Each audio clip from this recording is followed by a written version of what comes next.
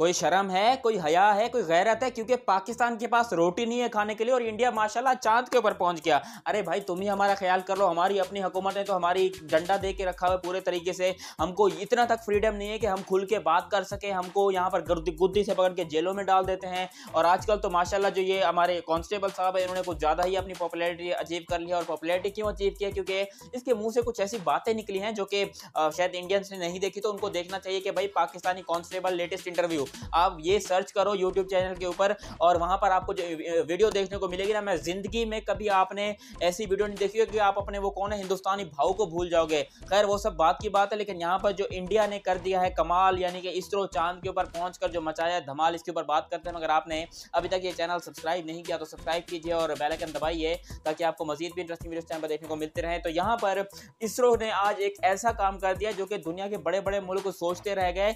मैं बड़े बड़े मुल्कों की बात कर रहा हूँ अब तक सिर्फ़ चार ही ऐसी कंट्रीज़ हैं जिसमें, जिन्होंने जो है स्पेस में जाकर चाँद के ऊपर लैंड किया और यहाँ पर पाकिस्तान को मतलब आप कह लो कि शर्म अभी तक नहीं आई है क्योंकि इंडिया हमारे साथ एक भाई जिसको हम बोलते हैं, हमारे साथ बड़ा हुआ, हमारे साथ खेला कूदा, बल्कि हमारे साथ खिलवाड़ किया है, जो भी किया है, लेकिन यहाँ पर पूरे तरीके से अपने आप को डिवेलप कर लिया है एक बेस्ट कंट्री के तौर के ऊपर क्योंकि यहाँ पर आप जितनी भी बोलते हो अमेरिका कनाडा रशिया या जो भी हो कनाडा नहीं कैनेडा होता है, खैर वो जो भी हो यहाँ पर रशिया वगैरह बेहतरीन सब मुल्क जो है बहुत ज़बरदस्त तरीके से काम कर रहे हैं स्पेस में जाने के लिए और पाकिस्तान की स्पेस एजेंसी का नाम ही किसी को नहीं पता। ये औकात रह गई है हमारी हुकूमत की, जो कि सिर्फ़ यही कहते हैं कि बैगर्स कांड भी चूजर्स और इस तरह के छुतियापे करती रहती है। तो भाई, खुदा का वास्ता मान लो कि भाई हिंदुस्तान जो है वो यकीन तरक्की की राह में सबसे आगे इस टाइम पर यूएस यूनाइटेड स्टेट्स वगैरह से हमें हमारा ताल्लुक नहीं, हमारा चाइना से कोई इतना ताल्लुक नहीं है। हमारे पड़ोसी हैं इंडिया जिनको हम बार बार बुली करते हैं, जिनको हम बार बार क्रिटिसाइज करते हैं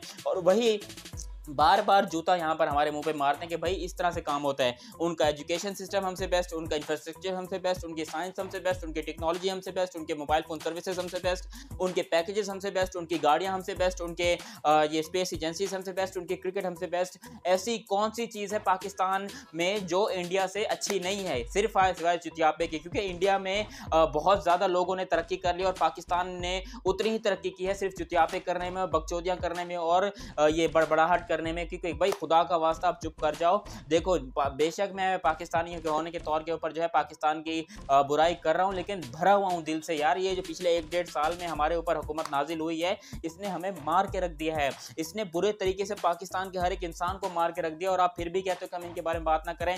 मुझे अभी डर लग रहा है कि कहीं से पता नहीं कौन सा कोई टैंक वगैरह आ जाएगा, मुझे उठा के ले जाएगा। खैर, जो भी हो, अल्लाह इज़्ज़त देने वाला है। लेकिन यहाँ पर इंडिया ने, इंडिया को जिस तरीके से अल्लाह ने इज़्ज़त दी है, यकीन करें, इंडिया इसका मैं बोलूँगा जितना उसको आप अप्रिशिएट करें, वो कम है। और इंडिया ने ये चीज़ अपने आप की मेहनत से प्रूव किया। देखो, वो एक बार फेल हुए, वो दूसरी बार फेल हुए, उन्होंने क्विट नहीं किया। They tried again and they tried and they have success in that तो यहाँ पर पाकिस्तान को सीखने की ज़रूरत है जितना भाई, आप अब आप मुझे एक बात बताओ कि आप कर क्या सकते हो? ऐसी कौन सी चीज़ है जो पाकिस्तान कर सकता है और वो नहीं कर रहा?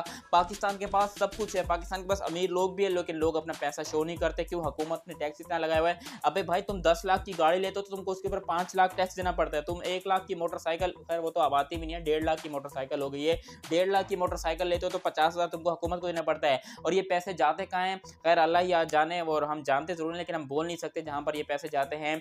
ओवरऑल इंडिया ने यहाँ पर पाकिस्तान को शर्मसार कर दिया है। पाकिस्तान को इस बारे में ज़रूर सोचना पड़ेगा खैर कौन सोचेगा पाकिस्तान में सोचने वाले तो खैर अंदर ही बंद है। जो भी हो, वगैरह वगैरह, लेकिन India has done a great job और यकीन करें, जितना अप्रिशिएट किया जाए, कम है। Proud moment for every single Indian चाहे वो गरीब है, अमीर है खेती बाड़ी करता है, जो भी करता है, लेकिन इंडिया के लिए एक बहुत ज़्यादा प्राउड मोमेंट है।